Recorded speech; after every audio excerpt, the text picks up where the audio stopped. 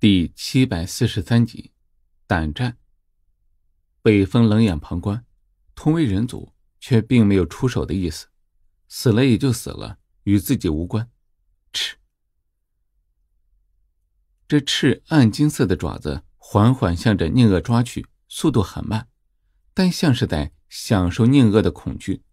宁恶也是天骄，但其实力比起赤来差得太远，以至于根本没有反抗之力。一颗充满恐惧的头颅被暗金色的爪子缓缓的覆盖上，而后猛然的炸开，所有人都是噤若寒蝉。这些荒族的实力超出了众人的意料，这下麻烦了。这些荒族的实力居然如此恐怖，看来这一次充满了变故，绝对不能够让荒族得到祖药。受到压力的人族武者心里默默的想着对策。但是片刻之后，都是苦笑摇头。每一个人都是天骄，都有自己的骄傲，又有何人能够让这些天骄联手呢？相反，这荒族一边明显是以女子为主，凝聚无比。固然人族这边人数占据优势，但却是一盘散沙，可以预见，一旦生死搏杀之时，绝对不是眼前这些荒族的对手。但是更多的人呢，则是向北风投去了目光，让一行人想不明白：北风明明是一个人类，却为何与这一群荒在一起呢？而且看样子，荒族一边对于北风没有敌意，反而是不少荒族人看向北风的眼神之中充满了敬意。北风自然是注意到这些目光，但却没有任何解释的意思，单手虚抓，直接把黄林。像是拖死狗一样的凌空抓起，而后北风的身子缓缓融入到黑暗之中。喂，帝女勋的声音从北风的身后传来：“怎么了？”北风头也不回，脚下依旧不紧不慢的向前走着。你可别死了，我们的这一架还没有打完。帝女勋对于北风呢，说不出来是什么样的感觉，有敬意，也有鄙夷。敬意自然是对北风实力的认可，但是鄙夷呢，则是北风的一副死要钱的等等模样。两群人大眼瞪小眼，都是恨不得杀光对方，但也知道这根本不现实。最终，荒族人簇拥着帝女勋离去了，人族一行人则是远远的跟在后方。北风浑身沸腾的气血缓缓平静下来，最终浑身的气息消失不见，看起来啊。就如同一位手无缚鸡之力的贵公子一样，这样做呢，虽然不能够瞒过同境界的武者，但是瞒过一些妖兽之类的却是可以的。眼下这一群深渊之中啊，可不是一番风平浪静的，可谓是危险重重。深渊之中，不时传来一阵阵的咆哮声与粗重的呼吸声。北风此时显得有些小心翼翼，连呼吸也是屏住了。脚下更是落地无声，呼呼，扑通扑通。深渊很大，四通八达，又是伸手不见五指，很容易就迷失了方向。一道道呼呼的风声，带着强烈的心跳声，在北风的身旁响起。北风之所以这么小心呢，正是因为身旁不远处匍匐着一头庞大无比的凶兽。这头凶兽长着猪脸。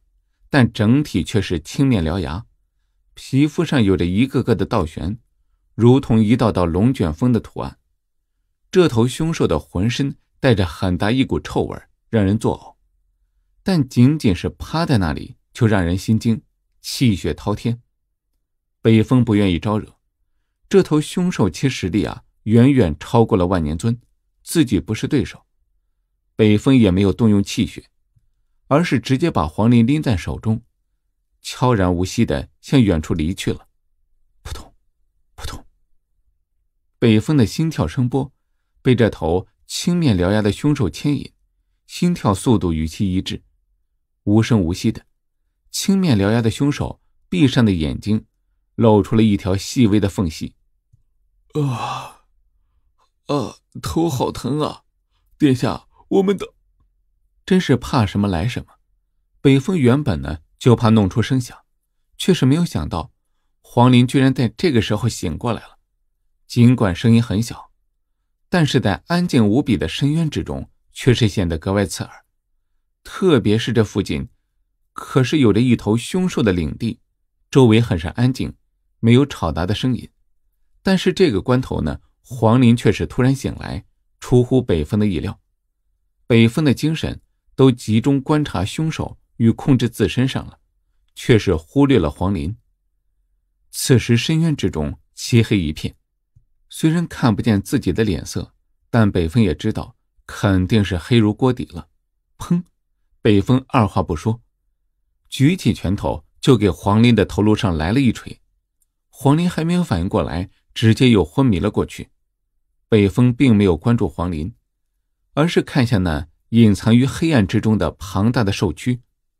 当看到那头青面獠牙兽啊！没有任何的异动时，北风心里才松了一口气，毫不犹豫的离开，不敢停留。当已经远远的离开之后，北风才吐出了一口浊气，目光不善的盯着黄林。要不干脆的弄死这个二傻子算了。北风脑海之中闪过这个念头，方才可是把自己吓得不轻啊！